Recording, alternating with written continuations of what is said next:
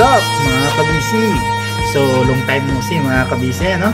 So, ngayong araw guys, uh, i-discuss natin sa inyo yung top 3 na sikat na mga vlogger mga kabisi.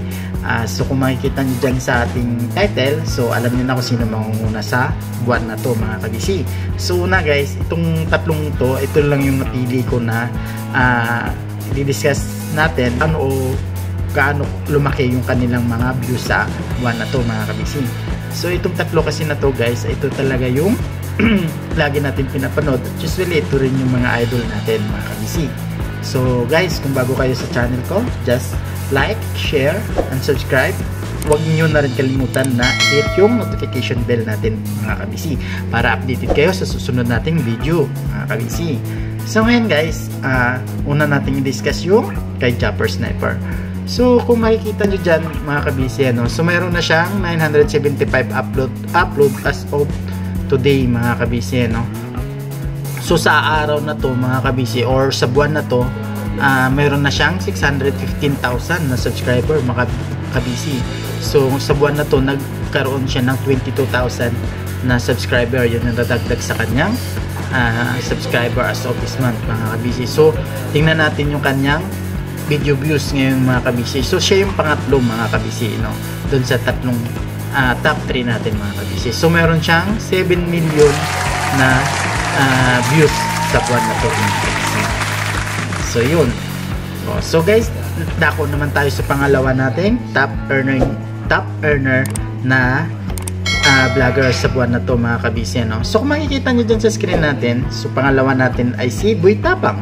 So meron lang siyang 21 upload video mga kabisi. Pero yung subscriber niya pumalo na sa 715,000 mga kabisi. So yun yung updated niya na subscriber sa ngayon mga kabisi.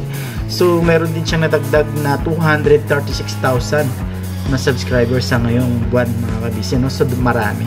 So yung video views niya mga kabisi ay meron siyang 10 million 382,000 so marami na rin mga kabisi hindi na rin yung mga so mga sikat talaga kasi sila ng mga vlogger.